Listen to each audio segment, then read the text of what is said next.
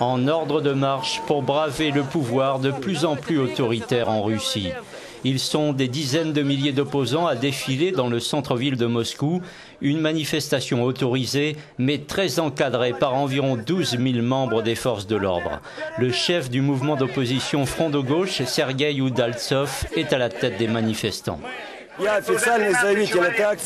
Je suis l'organisateur, alors j'ai indiqué que je ne pouvais pas répondre présent à l'interrogatoire auquel j'étais convoqué au même moment.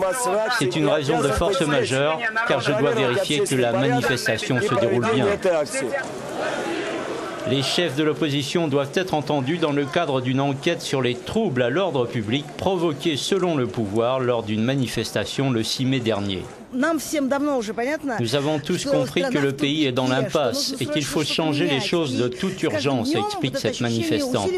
Chaque jour, ce sentiment se renforce, on étouffe de plus en plus et on a de plus en plus peur. Dernière restriction imposée par Vladimir Poutine, une loi qui limite considérablement le droit de manifester en prévoyant de fortes amendes.